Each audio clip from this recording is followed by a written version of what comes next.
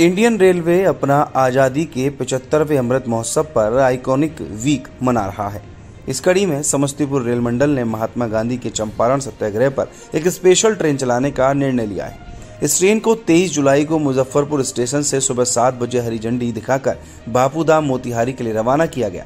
Samastipur rail मंडल के बापूधाम मोतिहारी से महात्मा गांधी द्वारा चंपारण सत्याग्रह शुरू किया गया। इसी को याद करते हुए समस्तीपुर रेल मंडल ने एक स्पेशल ट्रेन चलाने का निर्णय लिया। इस ट्रेन को अनोखे अंदाज में सजाया गया है। ट्रेन की बोगियों के अंदर महात्मा गांधी के चंपारण सत्याग्रह से जुड़ी तस्वीरों को भी लगाया गया है। महात्मा गांधी के चंपारण सत्याग्रह से जुड़ी तस्वीरों के माध्यम से ट्रेन के अंदर यादों को ताज़ा करने की कोशिश की जाएगी। ट्रेन में महात्मा गांधी के स्लोगन आदि को भी लगाया गया है। खास बात यह भी है कि ट्रेन के बाहरी हिस्से को तिरंगे का खूबसूरत रूप दिया गया है। बता दें कि समस्तीपुर रेल मंडल ने अमृत महोत्सव के समापन के दिन महात्मा गांधी के चंपारण सत्याग्रह की यादों से जुड़ी ट्रेन को मुजफ्फरपुर स्टेशन से सात बजे बापूधाम मोतिहारी स्टेशन के लिए रवाना करने का फैसला लिया। ये ट्रेन नौ बजे के करीब मोतिहारी स्टेशन पहुँच गई, जिसके बाद प्रदर्शनी के रूप में 45 मिनट तक रखी।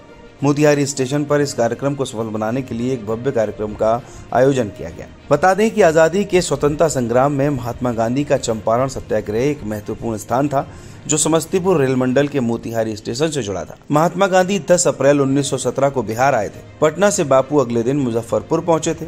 यहीं पर डॉक्टर राजेंद्र प्रसाद से उनकी पहली मुलाकात हुई थी। महात्मा गांधी ने कमिश्नर से इजाज़त नहीं मिलने के बावजूद भी ट्रेन से 15 अप्रैल 1917 को चंपारण की धरती पर कदम रखा। यहाँ किसानों का भरपूर सहयोग मिला और अहिंसक तरीके से लड़ाई लड़ी गई। इसलिए आज़ादी के अमृत महोत्सव में चंपारण के मोतिहारी स्टेशन का काफ़ी महत्व है। अगर आपको भी ये वीडियो पसंद आई हो तो इस वीडियो को लाइक ज़रूर करें।